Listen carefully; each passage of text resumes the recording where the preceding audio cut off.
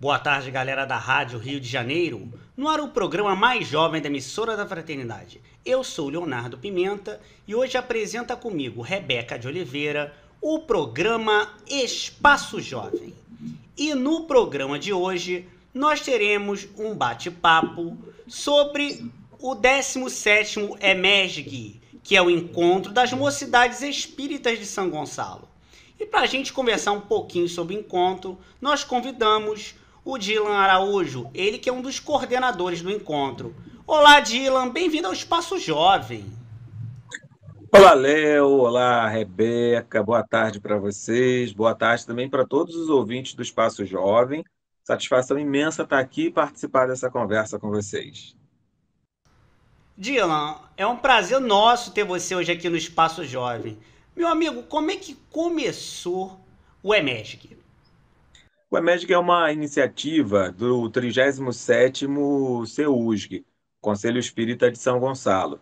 E ele, de certa forma, é um sucessor de outros eventos que nós tínhamos no passado e que, de alguma forma, buscavam reunir os jovens participantes das mocidades das casas espíritas do movimento de São Gonçalo. Primeiro, nós tivemos a criação do ESESG, reunindo as crianças que participam da evangelização, e depois, naturalmente, veio o nosso EMESG. Como você disse, já está na 17ª edição. O objetivo principal era buscar uma confraternização entre aqueles que já participam das mocidades nas casas espíritas. Tanto é assim que no início havia até critérios em relação aos jovens e adolescentes que poderiam participar, e entre esses critérios estava ali um certo tempo de permanência nas mocidades. Hoje o nosso encontro tenta abrir ainda mais as portas, então, mesmo aqueles jovens que eventualmente estão afastados ou que acabaram de entrar num grupo de juventude na casa espírita, esses também são acolhidos. Então, a gente recebe aqueles que estão nas mocidades, e esse é o nosso público-alvo, é o nosso público principal, mas com o passar do tempo nós entendemos que o EMESG é mais do que a confraternização daqueles que já estão nos grupos de juventude. É também uma porta de entrada ou um mecanismo de reaproximar aquele jovem que eventualmente esteja afastado, mas que é, no encontro ele volta a se sentir integrado com o movimento, ele descobre a existência de outros grupos de juventude, e se ele teve que se afastar de uma casa por conta da localização, ou às vezes por falta mesmo de afinidade, no encontro ele vai lidar com outros jovens, vai ser convidado a participar de outros grupos de juventude. Então hoje a gente vai ampliando aos poucos a nossa forma de ver, de compreender e de ofertar também o EMESG. Ô Dylan, qual é a faixa etária do pessoal do EMESG? Essa pergunta é ótima, porque ela rende discussões ao ponto da gente decidir, nesse ano, não estabelecer mais uma faixa etária. Aliás, no ano passado a gente já trabalhou dessa forma. Isso porque, Léo e, e Rebeca, vocês sabem que cada vez mais a gente tem uma flexibilização da faixa etária que a gente atribui à adolescência e à juventude. Isso porque a adolescência ela começa cada vez mais cedo, as crianças já querem ser adolescentes, e ao mesmo tempo a juventude dura cada vez mais, porque os adultos não querem ser adultos, eles querem continuar sendo jovens para sempre. Existem estudos hoje, por exemplo, um estudo que foi feito ah, na Austrália, já tem cerca de 10 anos, que aponta que a adolescência ela passou a começar aos 14 anos e vai até os 24, por exemplo. Então é muito difícil para nós, que não conhecemos todos os jovens que estão nas casas espíritas, determinar quais poderiam ou não poderiam se beneficiar do evento. Então, qual é a nossa estratégia principal? A gente acolhe a indicação dos evangelizadores e coordenadores de mocidade. Porque quando eu recebo a ficha, a ficha está lá escrito Rebeca, e tem a idade da Rebeca. Mas eu não conheço a Rebeca. Se o evangelizador, que tem um diálogo com a Rebeca muito maior do que o meu, ele entende que a Rebeca, embora tenha, por exemplo, 12 anos, ela pode se beneficiar do evento ou não. A Rebeca tem 25 anos, mas ela está integrada na mocidade da casa. Então, não serei eu, sem conhecer a Rebeca, que vou fechar a possibilidade dela participar. Agora, é claro, quando a gente recebe uma inscrição com uma faixa etária que destoa muito desse grupo principal, Aí a gente vai se aproximar, vai compreender quem é esse jovem. E nós recebemos esse ano, por exemplo, uma inscrição de uma criança de 10 anos, que já está integrada à pré-mocidade de uma casa espírita. Mas dialogando com o evangelizador sobre o evento, e dando a conhecer né, que lá estarão jovens com mais de 20 anos, o próprio evangelizador disse: então, vamos segurar esse ano, e no próximo ano essa criança participa. Quer dizer, eu acho que nesse momento, para que a gente possa abrir as portas o máximo possível, é interessante que a gente tenha esse, essa sintonia mais fina, esse ajuste mais fino. Então, uma pergunta que você faz, que era para eu ter respondido aqui de forma muito simples, né?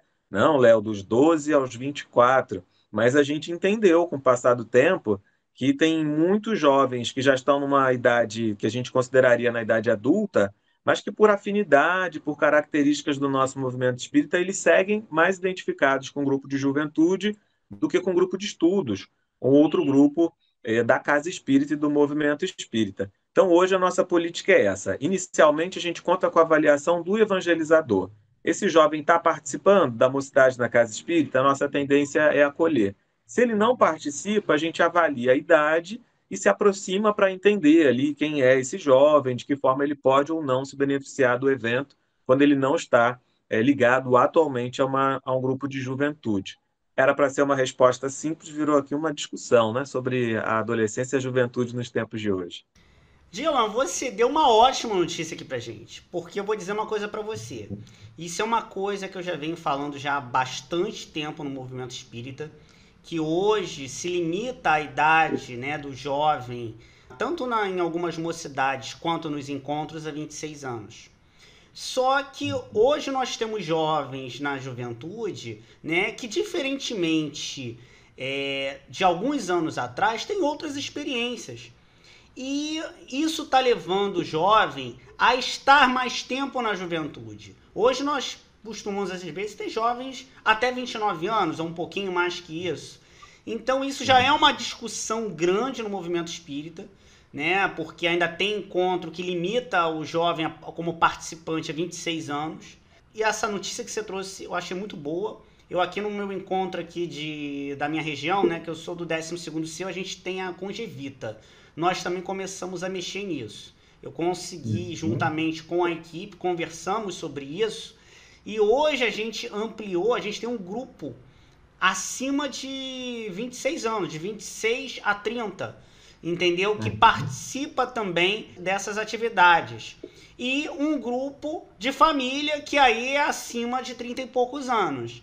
Então é, é esse olhar que a gente tem que ter com relação à questão do movimento espírita. E essa notícia que você trouxe foi ótima. Gostei muito de saber dessa novidade, né, Rebeca? Eu gostei muito de saber disso também, Léo. Achei muito, muito bacana que cada vez mais lugares estão implementando isso, porque é exatamente isso que vocês falaram, né? A gente tem desde jovens estão mais novos ou mais velhos querendo participar, desde quando a gente divide por faixa etária, a pessoa que é de 14 se, se identifica mais com um grupo de 16 e aí é muito fechado e não consegue migrar, ou vice-versa. Então, como é importante a gente olhar para cada jovem, para cada necessidade, e dividindo por faixa etária, né? A, a, cada um tendo a, a conversa, na verdade, é, com a mesma maturidade, com a mesma cabeça, não vai é, causar nenhum dano, vai causar, na verdade, só ganho, né?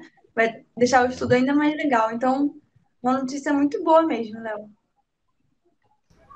Gilan, antes da gente começar a falar do EMESG, eu sei que existe uma prévia do EMESG, né? Que é o Vem Dançar.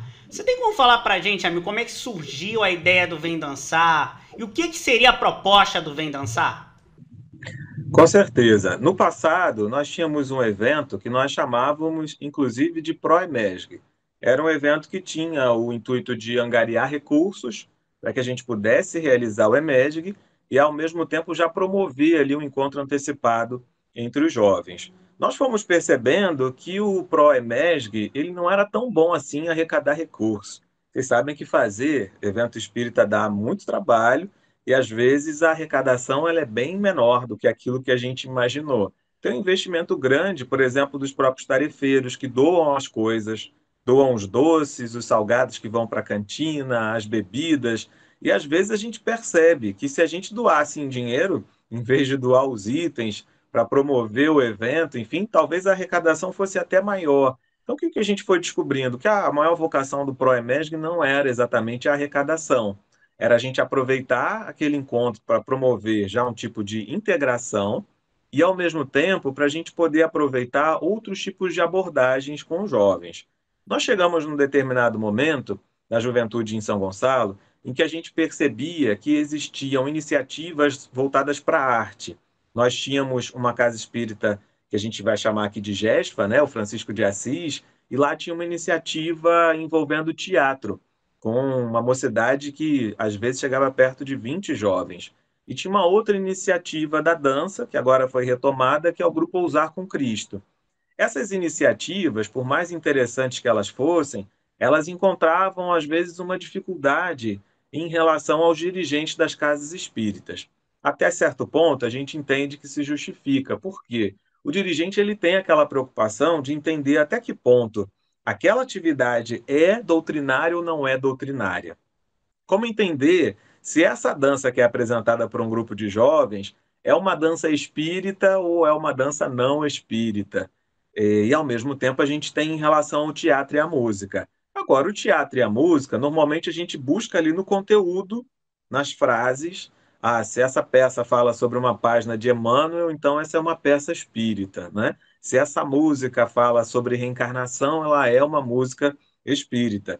E hoje a gente sabe que a arte, ela tem muito mais recursos e elementos do que a expressão verbal.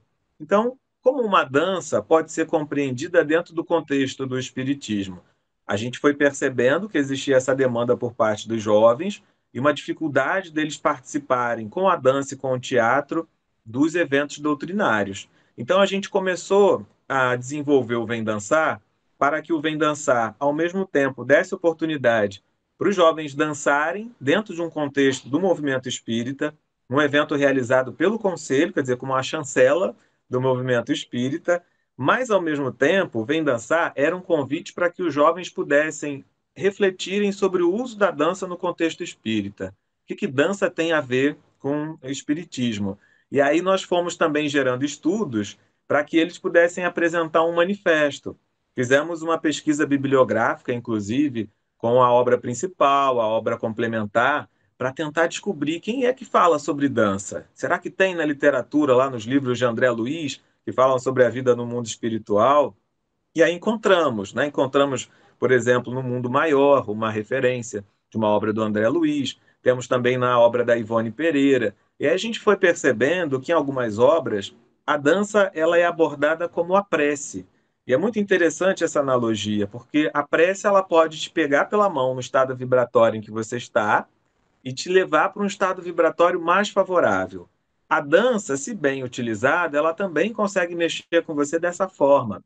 Imagina, você ouve uma música, você está ali meio tristonho, tem aquela música que te pega pela mão no estado que você está e te convida para um local mais elevado, mais tranquilo, mais pacífico, né? Ou te tira do marasmo e te leva para uma agitação boa, produtiva. A dança, quando bem empregada, ela também tem essa capacidade. Ela pode te tirar de uma determinada condição e te convidar para uma condição mais interessante. E a gente foi buscando essas referências doutrinárias para discutir com jovens e gerar um manifesto. Então, assim, a gente conseguiu passar a utilizar o evento que seria a ProEMESG para poder abordar uma outra questão importante que a gente estava vivenciando no município.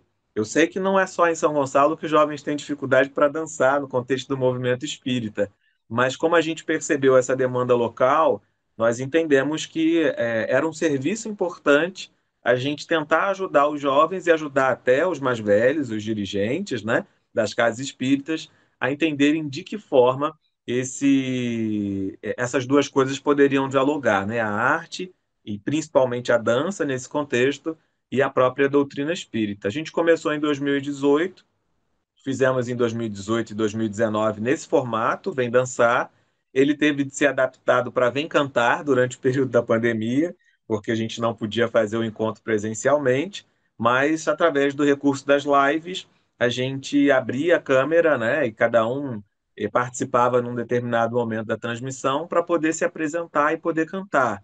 Houve quem dançasse, a gente teve apresentações de sapateado, por exemplo, né? Uma jovem que se apresentou no terraço da casa onde ela morava e sapateou, enfim. Então a gente teve o Vem Dançar, que foi transformado em Vem Cantar, e que voltou esse ano como Vem Dançar, inclusive recebendo agora eh, grupos de outras cidades, né? Então a gente conseguiu agora promover uma, uma integração para abrir esse espaço da dança e continuar gerando essa reflexão que me parece muito necessária. E finalizo dizendo assim um outro motivo, né? Além desses que a gente já está conversando, eu acho, Léo e Rebeca, que para a gente realmente ter uma doutrina acessível e, e democrática, a gente precisa buscar formas de chegar até as pessoas.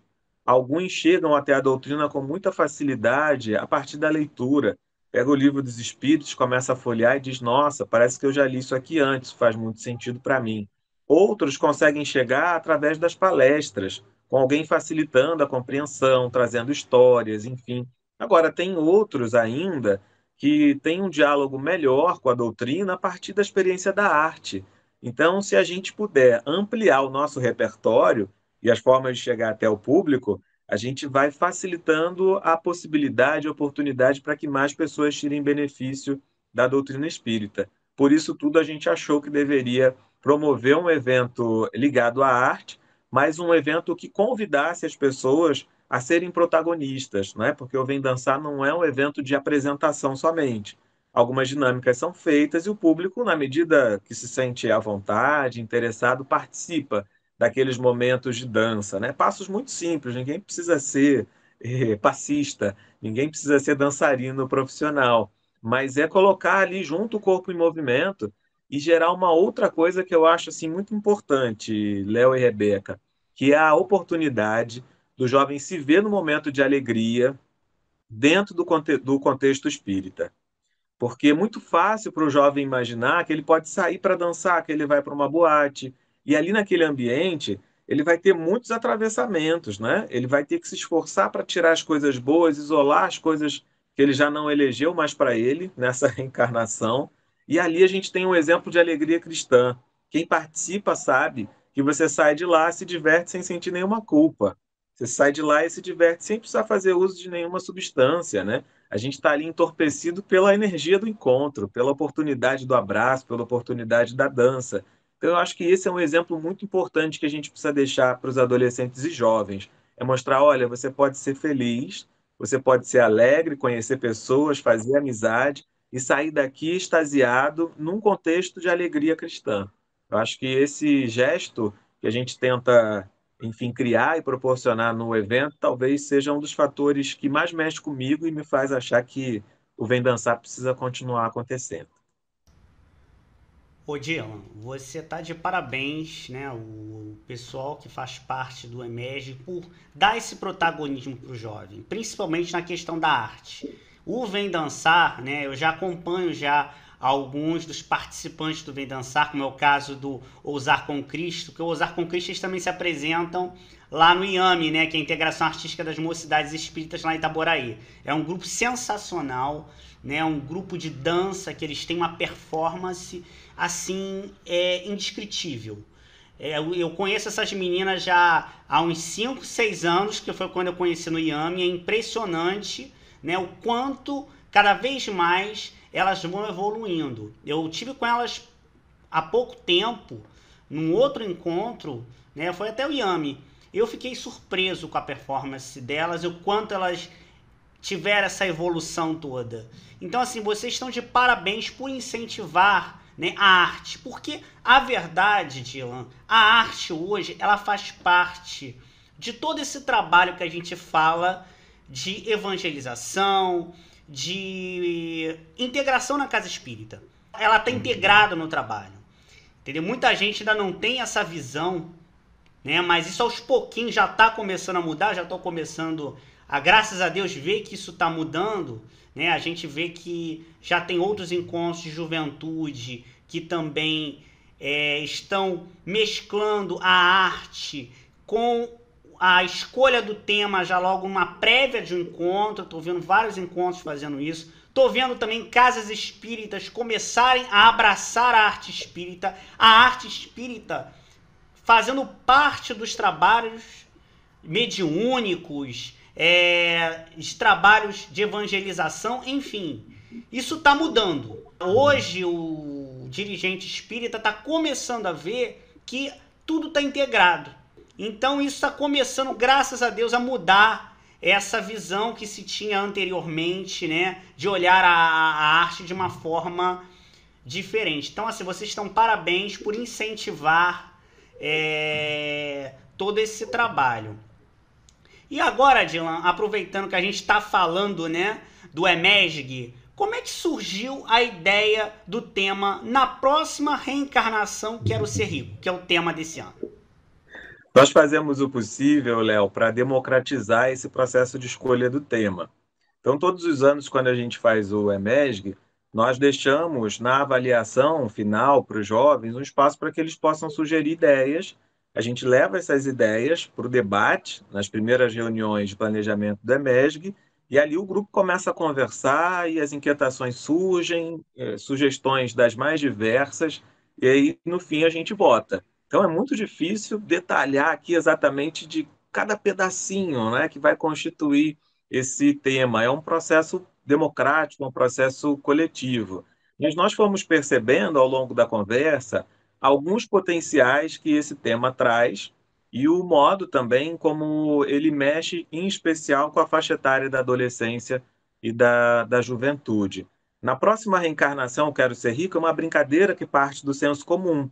Porque se a gente for perguntar quem é que não quer ser rico na próxima reencarnação ou de preferência nessa, no senso comum, a gente, mesmo sendo espíritas, nós ainda temos a impressão de que seremos felizes se alguma coisa materialmente for acrescentada. Quando eu tiver um salário melhor, quando eu tiver uma reserva financeira maior, quando eu tiver, enfim, quando meu corpo estiver em outras condições que não as atuais, a gente acha sempre que a gente precisa de mais recursos materiais para que a gente possa viver melhor. Esse é o nosso senso comum. Nós temos a alavanca interior que diz é necessário avançar, nós temos essa alavanca que nos conduz à perfeição, que faz com que a gente queira melhorar sempre. Mas o nosso filtro materialista ainda faz com que a gente confunda as coisas. A gente pensa que esse progresso, essa evolução, precisa se dar no sentido material. Então a ideia é, vamos nos encontrar todos aqui no nosso senso comum que é achar que a gente precisa de mais alguma coisa material para ser feliz. Essa é a primeira brincadeira. A segunda brincadeira é que, de fato, o convite é para que a gente seja mais rico na próxima reencarnação, mas é sermos mais ricos nos valores espirituais, né? na construção do reino dos céus dentro de nós e no conjunto das virtudes que precisam se desenvolver. Então, o tema ele traz essa brincadeira, né? Quero ser rico porque o senso comum diz realmente que a gente quer ter mais dinheiro e outras possibilidades mas o convite é um convite real, porque é para aquisição de outra riqueza. E a partir desse tema, a gente aborda algumas questões, como a desigualdade social. Hoje, a gente tem um debate muito forte no Brasil acerca da desigualdade e precisamos nos perguntar, do ponto de vista do Espiritismo, é natural que exista a desigualdade de riquezas? A repartição de riquezas do jeito que é hoje no Brasil ela seria diferente caso a gente já tivesse uma civilização que fosse orientada pelos valores do Cristo? Essas são questões importantes que a gente vai apresentar ao longo do evento. Não posso detalhar muito para que aqueles que estejam ouvindo agora não saibam já de todas as questões que a gente vai apresentar. Mas a gente percebe que esse é um tema muito sensível para a juventude, para a adolescência, porque as crianças elas até começam a perceber diferenças. Existe um dar-se conta na infância, né, que vai mostrar para a criança que a família dela tem possibilidades diferentes de outras famílias. As crianças já vão percebendo, mas é no período da adolescência que nós vamos começando a perceber a desigualdade social como um fenômeno mais amplo. É quando começa a vir uma certa resistência em relação ao modo como as coisas são feitas no mundo é quando o adolescente se questiona mais, né?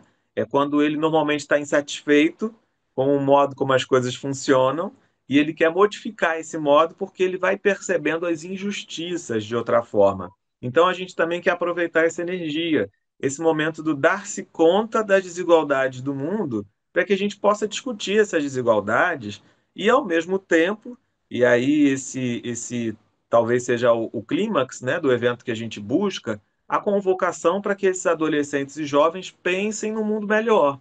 Eles pensem como é que eles querem ver o mundo, né, em termos de distribuição de oportunidades, e distribuição das riquezas.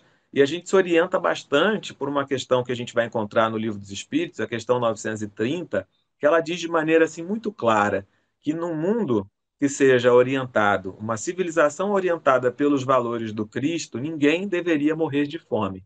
E a gente ainda vive num planeta em que a cada quatro minutos alguém morre de fome. Então, a gente está convidando o jovem a pensar sobre isso, para que ele possa pensar em qual é o, o, o, papel dele em relação ao uso das próprias riquezas, porque todos nós temos riquezas de diferentes tipos, né? É importante pensar sobre isso, e ao mesmo tempo como é que a gente pode pensar juntos a partir da doutrina espírita no mundo que seja mais justo. Então, para a gente não trazer aqui detalhes muito específicos, de maneira geral, essas foram as inquietações, as questões, as reflexões que nos levaram a esse tema. Mas, Odilan, pelo que você está comentando, a discussão vai ser boa. Até porque os jovens já vêm trazendo essa questão social para dentro da casa espírita, esses temas que envolvem né, a questão social, como negritude, branquitude, é, justamente a questão do preconceito, é, essa questão toda também de renda, isso tudo vem sendo trazido pelos jovens para que isso possa ser discutido nas mocidades. Então, pelo visto, essa questão social, que é o que está sendo debatido aqui, vai ser uma questão muito bacana. Né? E pelo que eu entendi nessa questão da escolha do tema, né, você já tem já alguns temas, já que os jovens previamente na avaliação enviam e vocês fazem essa discussão, né, em grupo, com todos os temas ali presentes, vocês acabam em grupo resolvendo por um tema só, que aí acaba sendo o tema específico é, do encontro. Muito bacana, muito bacana mesmo, e ver que vai se trabalhar essa questão da desigualdade social, que é algo que a gente tem visto muito, principalmente nesse pós-pandemia, né? Porque uhum. durante a pandemia a gente viu muito isso né? É, pais que perderam emprego, é, filhos que também estão ajudando seus pais atualmente dentro de casa a colocar o sustento dentro de casa. Então, assim, vai ser uma discussão muito bacana. Mas aí, Jean, eu queria fazer uma outra pergunta para você. Como é que funcionam também as equipes de trabalho? Porque não tem só a equipe de estudos, né? Como é que funciona as outras equipes de trabalho? É, no caso da equipe de estudos, vocês vão montando aos poucos as atividades? Como é que é feito isso? Nós entendemos que toda a oferta do evento é uma oferta doutrinária e é importante. Com isso, eu quero dizer que na equipe de cozinha, a gente tem ali um processo de evangelização, a partir do preparo dos alimentos e a partir dos pensamentos que estão sendo gerados por quem trabalha na cozinha.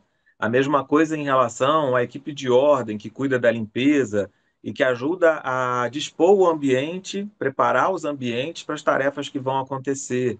Todos os tarefeiros eh, contribuem com um sorriso no rosto, com acolhimento, com um abraço, e é muito importante que eles estejam envolvidos também com o tema do evento. E por isso, o que, que a gente faz? Nós já começamos, desde a primeira reunião, levando propostas de reflexão para o debate coletivo. Então, não importa qual é a equipe, se é uma equipe de harmonização e atendimento fraterno, de preparo de alimentos, da limpeza, da comunicação, enfim, todos os tarefeiros são convidados a debater o tema. Então, a gente já começa com algumas reflexões prévias e depois que a gente escolhe o tema, nós vamos levando referências doutrinárias para discutir esse tema coletivamente. Com isso, a gente vai enriquecendo os exemplos e as sugestões de atividades, e, ao mesmo tempo, a gente vai dando oportunidade para que todos os tarefeiros entendam qual é a proposta principal do evento. Não vão saber todos os detalhes, como sabe a equipe do estudo, que vai se encontrar mais vezes e tem que fazer um mergulho um pouco mais aprofundado para gerar um plano de estudos que envolve aí um conjunto de referências bibliográficas, que envolve uma separação por módulos, envolve, às vezes, eixos temáticos para poder orientar a discussão, porque é muito importante para nós, Léo e, e Rebeca, que a gente tenha um plano de estudos que relaciona as discussões ao conteúdo doutrinário. Porque o Léo, por exemplo, na condição de pai de uma adolescente que vai participar do evento, ele pode pensar assim: eu deixo a minha filha participar porque é um evento espírita. Então, ele quer ter a segurança de que as discussões que acontecem ali, elas acontecem a partir da doutrina espírita. Isso para a gente é muito importante. É importante que o Léo, como pai de uma adolescente aqui, né, criado na nossa ficção, que o Léo possa, a, ao questionar o que, que vai acontecer lá, ele saber que o plano de estudo está ancorado nas referências doutrinárias. Hoje, vocês sabem, a gente tem um momento em que há uma discussão política, uma polarização política muito grande, por exemplo, no nosso país. Né? Então, alguns talvez queiram abordar a questão da distribuição das riquezas e da desigualdade social por um viés conservador ou por um viés progressista. É importante que a gente saiba dizer que estamos discutindo pelo viés espírita, com as consequências né, naturais para a compreensão de, um, de uma forma ou de outra forma. Então, nós não somos neutros, pelo contrário, nós tomamos o partido do espiritismo. E aí a gente propõe as explicações, a gente propõe os debates, e claro, alguns vão olhar aquilo e vão achar, então eu acho que Kardec era comunista. Não, eu acho que Kardec era conservador. As conclusões, elas precisam vir a partir da leitura da doutrina espírita, porque o pacto que a gente tem é esse. O nosso pacto, quando a gente promove um evento espírita, é um pacto que deveria valer, por exemplo, para todas as palestras espíritas. Ninguém quer chegar numa palestra espírita e ouvir uma pregação política, né? seja de qual campo for. A gente precisa que seja uma discussão a partir da doutrina espírita. E aí, aqueles que têm as paixões políticas têm a oportunidade de é, submeter a sua paixão política ao escrutínio da doutrina espírita. Isso, para a gente, é fundamental nos dias de hoje porque às vezes a gente convive com pessoas na casa espírita, a gente fica assim, não é possível que essa pessoa diga o que ela diz se ela lê a mesma coisa que eu leio no, no, nos, nos, livros espíritas, né? Eu acho que essa é uma inquietação muito grande hoje. Mas isso é possível por quê? Porque a maneira como vocês se apresentam agora com os óculos, né? Vocês têm aí as lentes dos óculos que ajudam a trazer um olhar diferente. Agora, se você pegar o óculos que você tem e colocar ele dentro da gaveta, a lente não está te ajudando. Então, às vezes, a doutrina espírita oferece lentes que a gente se recusa a usar, né? A gente fica com as nossas concepções de mundo, a gente fica lá com as nossas paixões políticas e a gente simplesmente não faz uso do conteúdo doutrinário. Então, tudo isso é para dizer que a gente vai buscando as referências doutrinárias para discutir a partir das referências da doutrina. Caso alguém chegue com dúvida, as referências estão todas lá. E aí não é de nós que a pessoa eventualmente pode discordar, ela vai discordar do conteúdo doutrinário. Né? É importante para a gente avançar com essa segurança e a discussão coletiva ela ajuda, porque ela vai estabelecer ali, junto com o grupo, uma crítica que é muito mais potente do que a crítica que partisse só da cabeça do Dylan, por exemplo, né, como coordenador da equipe de estudo. Então a gente envolve toda a equipe numa discussão mais ampla e a discussão específica para a gente poder elaborar atividades, dinâmicas, separar por módulos, aí fica por conta da equipe de estudo. Além da equipe de estudo, para já responder em relação às, às equipes, a gente tem uma equipe de harmonização que é responsável pela vigília né, espiritual, que deve ficar em prece antes e durante o evento também, lembrando que a principal substância que a gente trabalha é mental, ela é espiritual. Então a gente precisa de recursos vibratórios e harmonia para que a gente possa atingir os jovens de uma maneira que só a espiritualidade maior sabe que está atingindo, né? A gente leva um conjunto de temas, a gente leva sorrisos, a gente leva abraços, mas o mundo íntimo do adolescente, do jovem, quem sabe é a espiritualidade maior. Então a gente colabora no sentido de criar um ambiente propício. E aí a gente tem um papel de todos mas em especial da equipe de harmonização, que também é responsável pelo atendimento fraterno. Então, eles fazem a vigília, as orações, as reflexões e o atendimento fraterno. Temos a equipe de comunicação, que dispensa a apresentação, vai buscando as estratégias nas mídias sociais, outras estratégias mais antigas, né? como abordagem às casas espíritas para poder fazer a divulgação do evento. A equipe de ordem, além da limpeza, pensa na disposição do, dos ambientes onde as coisas acontecem, ajudam com os recursos, traz uma lona de carro, uma escada lá, carrega cadeira, enfim. É dispor esteticamente o, o ambiente e trazer o material necessário. A gente tem também uma equipe que é especialista na estética e na, na ornamentação. Essa equipe vai pensar nos adereços, nos enfeites, enfim, Lembra daquela, daquele papo sobre atingir as pessoas de formas diferentes? Alguns são atingidos pela experiência estética quando chegam no ambiente, né? As cores, enfim, a, as, as interações que a gente vai criando nas paredes, nos murais. Então, a gente tem uma equipe só para pensar nessas coisas. E temos também, agora é um exercício de, de memória, né? A gente tem uma equipe de logística que pensa nos recursos financeiros, quando vão adquirir os alimentos, quando eles precisam estar disponíveis, enfim. Então, a gente tem uma equipe só para isso. De maneira geral, são as equipes que eu me lembro agora. As pessoas vão ficar chateadas comigo, depois ouvindo a entrevista dizendo que eu esqueci da equipe delas. Tem a equipe de artes também, que é responsável por pensar nas músicas, mas também nas esquetes teatrais e outras ofertas possíveis da arte durante o evento. Acho que eu dei conta de todas mas estou aqui, ó, correndo riscos. Sintam-se todas representadas, né? Mas todas é... são muito importantes. É muita gente, tem que ter muita gente para é, mexer trabalhos como esse. A gente sabe como que é e como cada função é extremamente importante, né, para fazer funcionar da melhor forma. Com certeza. Ô, Gilan, você estava comentando aqui com relação à questão das equipes de trabalho, é por aí mesmo. Né? A gente vê os encontros, tem sempre. Cada equipe é responsável por uma parte do encontro. E essas equipes, todas elas estão integradas. Então, o que eu achei interessante é que vocês escolhem o, assim esse tema em conjunto, né? Tipo um faz na comédia, vocês fazem em conjunto e depois a equipe de estudos vai dando prosseguimento, né, nesse trabalho. É, isso é uma questão. Outra questão que você comentou, que é algo fundamental, é que realmente a gente tem que começar a, a colocar né, o espiritismo no seu lugar.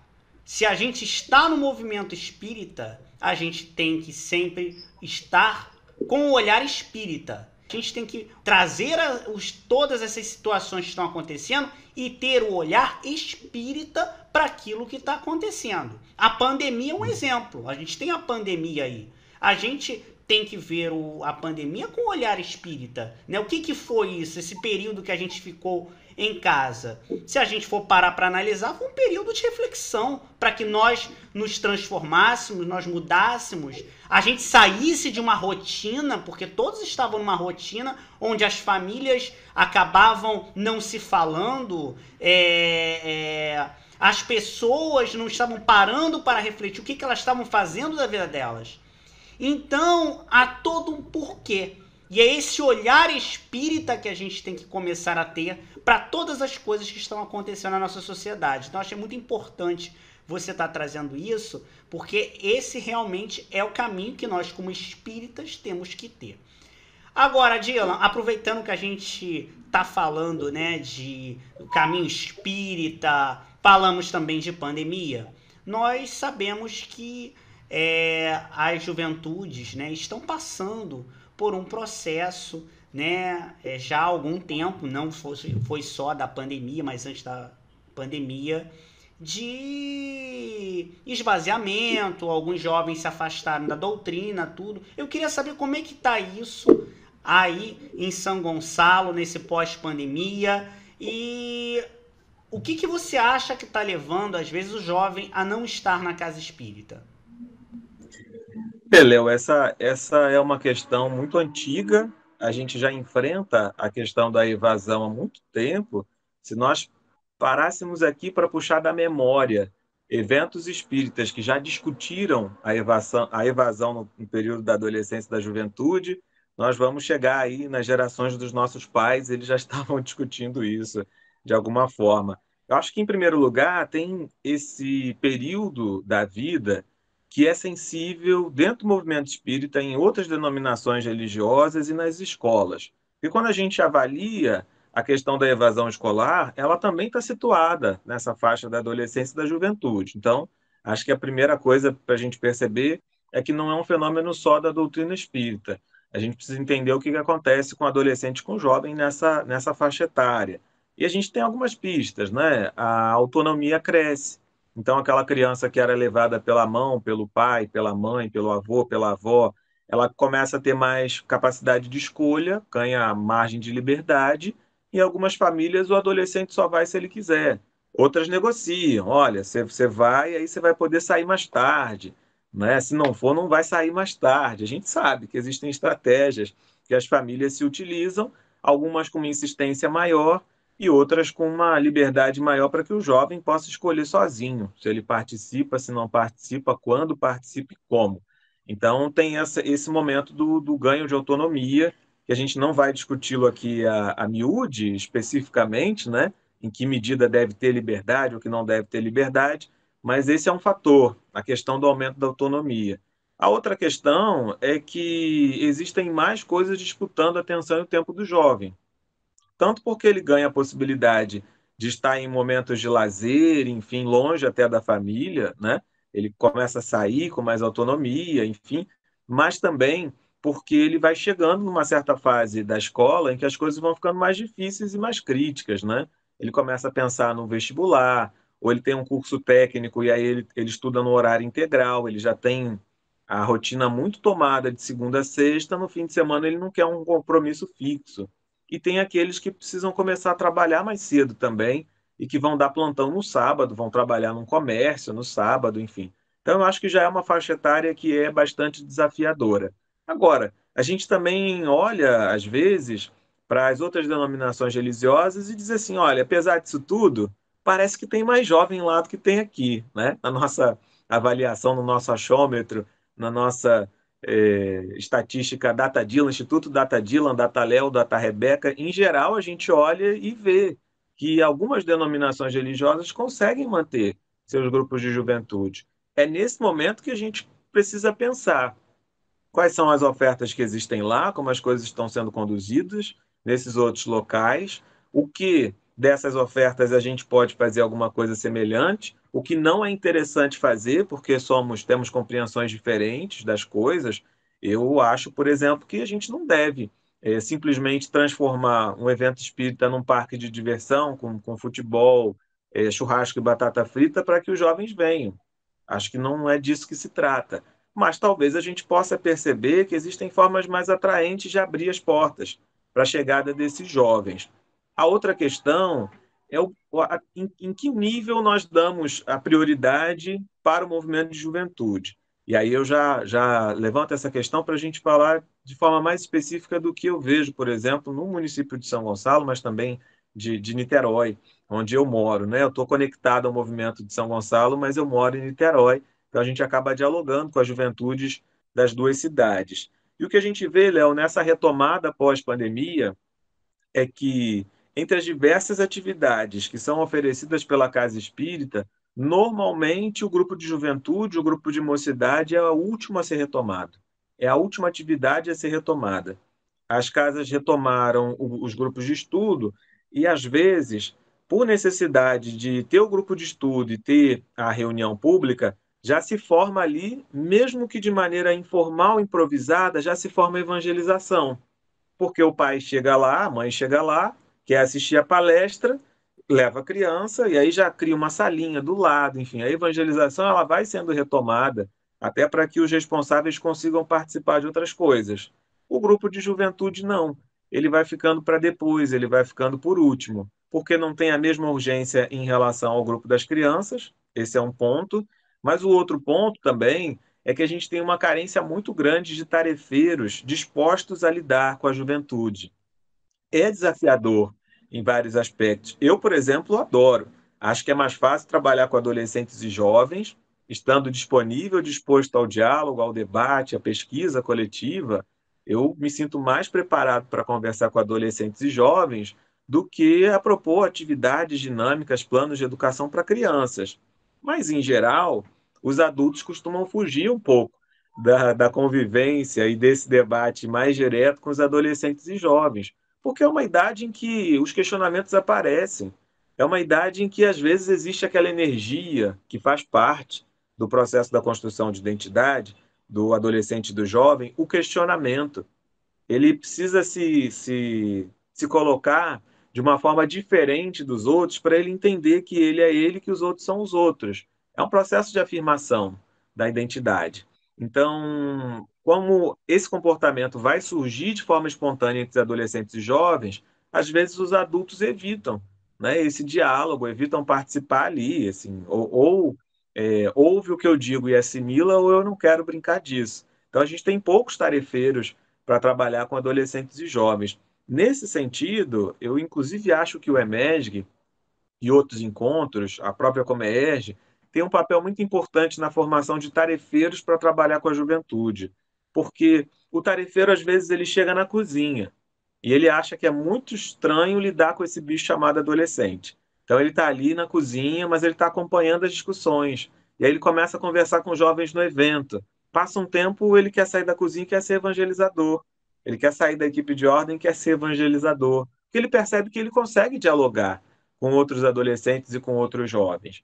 Então, eu acho que o EMESG e outros encontros também têm essa função de gerar oportunidade para que as diferentes gerações dialoguem e, aos pouquinhos, a gente vai formando tarefeiros que se sentem mais à vontade para trabalhar com a juventude. Mas hoje, resumindo, ainda não são muitos. A Casa Espírita, infelizmente, ainda não tem como é, enfoque principal o grupo de juventude, por isso esse grupo vai ficando para depois e a dispersão tende a aumentar. Dion, foi muito bom você ter falado. Foi justamente o que eu estava falando outro dia no programa da Cláudia Dutra, né, o Movimento Espírita em Foco. Fui chamado para falar sobre essa questão do jovem no movimento espírita e eu estava justamente falando dessa dificuldade que ainda temos na casa espírita da integração do jovem à casa espírita. Porque o grande problema que nós temos ainda no movimento espírita é ficar a evangelização e a juventude um grupo à parte da casa espírita. Isso não pode, isso tem que ser uma coisa integrada. E aí, uhum. esse sentimento de pertencimento, que é justamente o que a gente está falando aqui, quando a gente fala em questão de evasão, é que é da falta do sentimento de pertencimento por parte do jovem, já que a casa espírita não faz o papel de integrar. Porque o que eu tenho observado aqui, né, conversando com diversos coordenadores, visitando os encontros, isso tudo, né, nós todos temos observado que infelizmente está faltando isso. A casa espírita aproveitar, né, o, o jovem desde a infância, como criança, e está aproximando ele da própria casa, das atividades da casa. E agora que a gente está nesse período pós-pandemia, que está se vendo a falta de trabalhadores, nós estamos é, no movimento espírita como todo questionando: cadê o jovem? Onde é que está o jovem? Mas a gente trabalhou para isso? É o que muitas vezes eu tenho falado, falei no Movimento Espírita em Foco torno a falar mais uma vez aqui no Espaço Jovem, que a gente tem que começar a ouvir o jovem e abrir mais a casa espírita para o jovem. Magilan, voltando ao EMESG, viu? Eu queria que você agora, meu amigo, que a gente está chegando praticamente ao finalzinho do programa, primeiro, falasse como é que tá essa questão é, da parte musical do encontro, tá? E como é que a galera pode estar tá se inscrevendo para poder participar do EMEDIC. Com certeza. A gente preferiu nos últimos anos criar uma equipe de música especificamente para o evento. Antes a gente tinha uma lógica de trazer músicos já do movimento espírita para se apresentarem. Hoje a gente está optando, nos últimos anos, por uma equipe própria, porque a gente quer muito que os momentos de arte estejam bem integrados com a proposta do evento como um todo. E o artista que chega para se apresentar, ele tem um repertório dele. Ele tem ali é, a, a, a, experiência estética que ele quer proporcionar. Por exemplo, tem aquele artista que chega e tudo para ele é dançante, tudo para ele é feliz. E a gente tem no, no, no encontro momentos dançantes e felizes, mas temos momentos de reflexões mais profundas.